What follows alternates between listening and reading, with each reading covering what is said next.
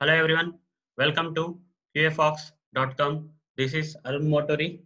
In this Selenium automation tutorial series, I am going to continue with the topic XPath expression locators. As part of this topic, guys, already covered 16 parts, 16 parts in the previous videos. The current video session, I am going to cover the 17th part that is contains XPath function.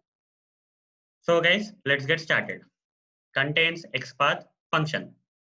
So guys, we already know that there are in the previous video, I explained that there are five XPath functions that we generally use in Selenium. And in the pre one of the previous video, I already explained the first XPath function that is text XPath function. Now, in this current video session, I am going to uh, demonstrate the second XPath function that is contains XPath function. So guys, let's get started with the practical explanation of these things that have provided it here. Okay, fine. So let me switch to the practical mode now.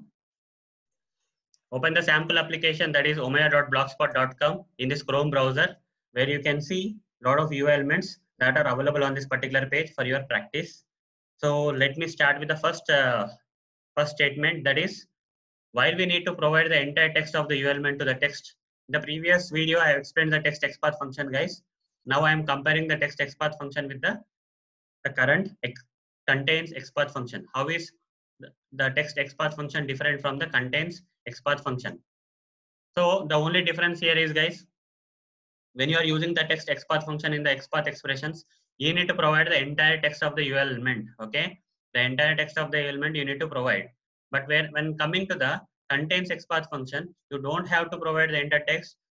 Okay, you you have to provide the partial text. Okay, you can even provide the complete text, but also at same time contains XPath function allows you to provide the partial text instead of providing the entire text. If you want to provide only the partial text, then you can provide with the contains XPath function. It works in similar to the text XPath function, guys. The difference between the text XPath function and contains XPath function is that in text XPath function, you need to provide the entire text okay that is there in between the html tags of this ui element whereas coming to the contains xpath function you may not it's not mandatory to provide the entire text. Instead you can pro also provide the partial text of that uh, text that is there in between the html tags of the ui element okay?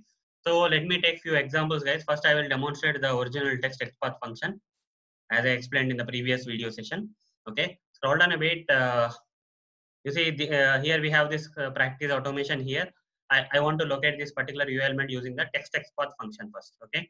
Right click on this and select inspect option guys. Select the elements tab and select the ChroPath here. Uh, when you inspect it here guys the html code of this particular paragraph text got highlighted here. It's starting with the p tag. So what you will do is here select a relative xpath and say double slash p first okay? This will locate all the paragraph tags on this particular page. But in order to filter this particular UI element uh, out of all the paragraph tags, what we have to do is like, I, I, will be providing this text. Okay. Using this text, I want to locate this paragraph text. Okay. I'll copy this text and I will open the square bracket and I will enter the text XPath function like this. Then is equal to, then open the single quote, then paste the text that is there between this starting p tag and ending p tag like this and close the, close the quote and then close the square bracket and press enter. You see, this is a relative XPath expression having this text XPath function for locating this element on the web page. As you can see here, we have provided the complete text case, practice automation. Whatever the text that is there between this uh, starting and ending p tag, we provided the entire text. We didn't miss any part of this text, right? We have to provide the entire text. But coming to contains, guys, you don't have to provide the, it's not mandatory to provide the complete text. Entire text is not mandatory instead you can actually provide the unique partial text okay unique partial text for example here i will replace this text with content. Still it will work guys okay? Uh, sorry uh, i have to do some uh, syntax changes here okay? So what we have to do is uh, let let me go with the contains now okay? So we'll be using text and contains together also okay? That i'm going to demonstrate just now okay? You see in this example you can see that contains and text are used together okay? So we can do that. So the only purpose is to not locate the Element with the help of entire text. Instead, if you want to use the partial text, then we have to go with the contains guys. If you are going, if you are using only text XPath function, then there is no other way you have to use the entire text. But uh, if you want to use the contains XPath function, then you can actually use the partial text. That's the only thing. So let me modify this original one that is double slash p text is equal to practice practice automation here. That is entire text is there here. So what I will do is inside inside this p tag I will I will provide contains. Okay, c o n t a i n s and it is a function guys. It's a function. So instead of closing the function here, okay, just close it after this. Okay, like this. Contains is starting here and ending here and in between that text and practice automation here or there still some er-, error is being shown we have to replace this is equal to with comma that's it okay this is a syntax guys okay double slash p the original text is called practice automation is already there so what we will do is we'll just add this uh, contains function inside the square bracket. The function will start here and end after this practice automation here value okay? And in between that some assignment operator was there between text and practice automation right? Just replace that assignment operator with comma symbol okay? Now press enter you see you're able to locate. But here entire text is there. It's it's not required to have the entire text guys. Simply remove some portion of the text. Let's say i will remove this here okay only practice automation is there. Whereas here entire text is practice automation here but i am only using the partial text here that is practice automation. Now press enter you see still locating guys still locating okay? Practice automation. So you can use the partial uh, text guys for locating this u element if you use contains along with the text function okay? Now as you already know instead of this text function text xpath function we can use dot right dot is a short form of this text xpath function. So what i will do? I'll replace this text with dot. And press enter yeah, so still it is locating as one u element. That is this practice automation here. So contains dot practice automation here. Okay? Partial text. Instead of text xpath function you can use dot.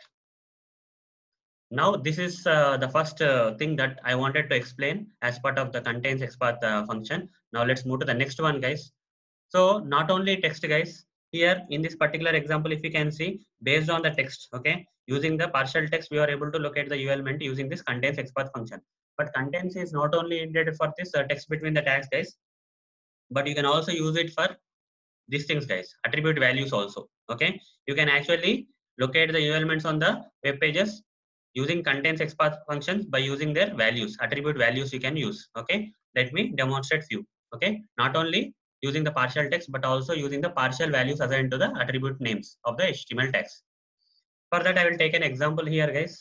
I'll uh, clear this. Uh, okay, so for now, um, I will take one example here.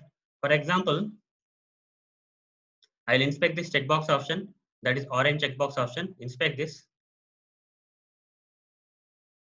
so here here this particular checkbox option has this html code in its uh, the source.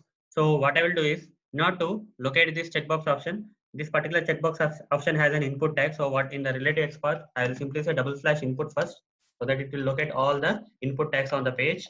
Now to filter more what i will do i will use contains XPath function now okay? I will i will uh, open the square bracket and uh, type contains inside this one okay? This is the contains xpath function. Inside the contains xpath function okay inside the contains xpath function i will give the i will give this attribute name. So for example i want to locate this particular checkbox using this value that is orange value okay?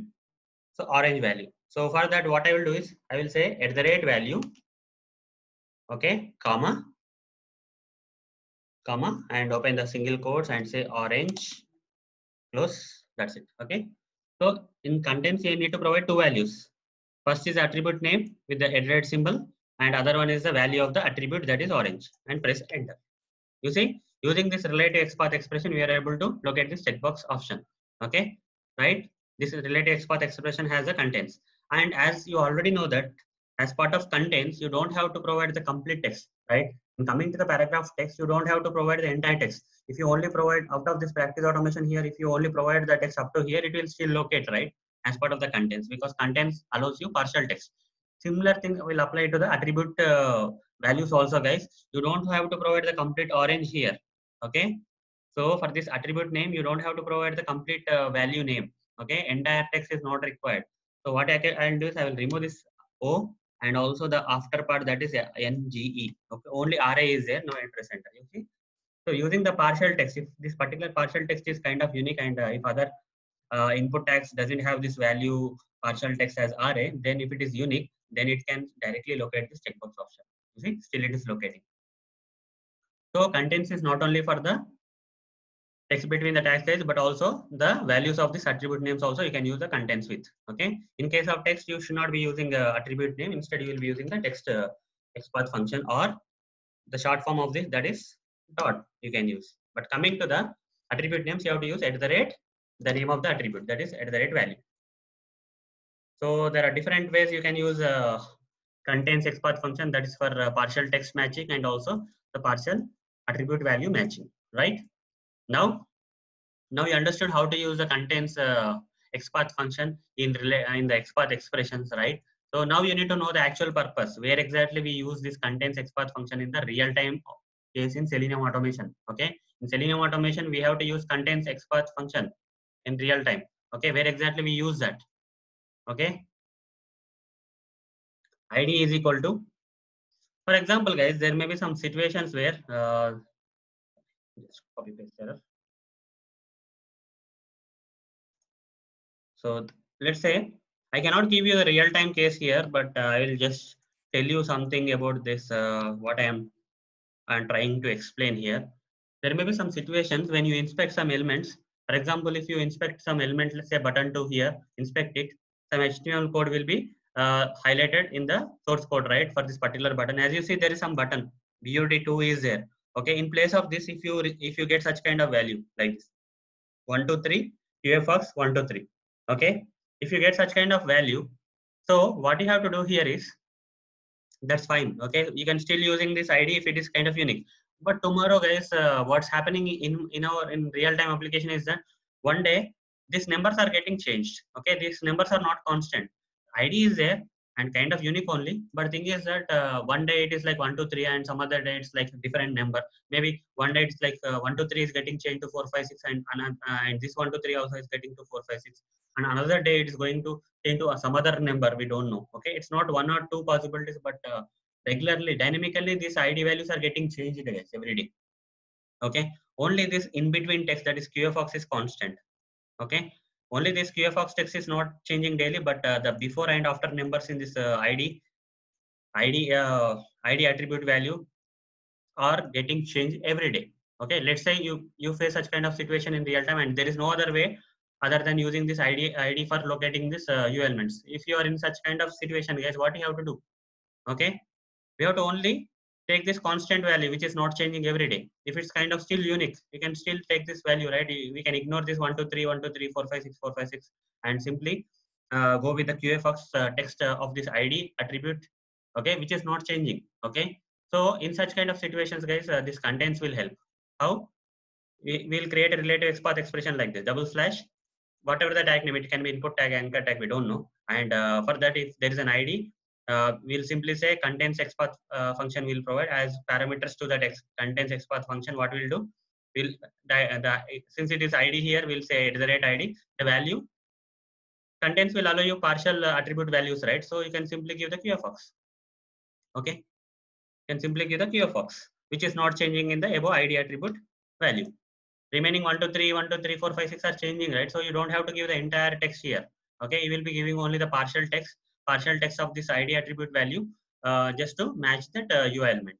Okay, this is how the real time guys uh, contains will make a difference.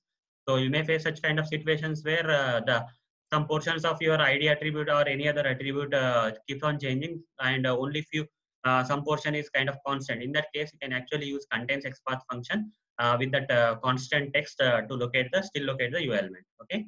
So this is a real time thing guys. Uh, so we are done with the practical demonstrations for this contains XPath function. Okay, now let me switch to the presentation. So guys, I have practically demonstrated uh, the contains XPath function. I explained the difference between the text XPath function and contains XPath function, where text XPath function locates the U element using the entire text uh, that is there between the HTML tags of the U element, whereas contains will locate the uh, U element based on the partial text that is there in between the HTML tags of the U element, right? So that's how it is different. Apart from only locating the contains functions can also be used for uh, partial attribute uh, values also. Okay, not only the partial text between the HTML text, but also uh, locating the elements based on the partial values of those attributes in the HTML codes of the two elements. You can also use that. I also demonstrated that to you. Now, and, and uh, apart from that, I also demonstrated the real-time condition. Okay, real-time scenario uh, where we exactly use contains in our uh, Selenium day-to-day -day, process. Okay, so where the the the value the value the value of this some attribute names keeps on changing. Okay, and few few portions are kind of constant. In such kind of cases, we can use contains with the constant text or something of that uh, uh, attribute values to locate those U elements. This is the real-time case, guys. I cannot give a practical example because this you can you can only experience in the real-time projects where you face such kind of problem. Okay. So, guys. Uh, so, guys, we are uh, here. Here ends this current video session, guys. So, in the next video session, I will explain and demonstrate the next XPath function that it starts with. Okay. So far, in the previous and current video, I explained two XPath functions. That is, uh, in the previous video, I explained the text XPath function, and in the current video, I explained the I explained the uh, the next uh, XPath function that is contains. Now, in the next video, I will explain the next XPath function that is starts with XPath function in detail, guys. So, guys, that's it for this uh, current video session. In the next video session, let's meet in the next video session. Thank you. Bye, guys.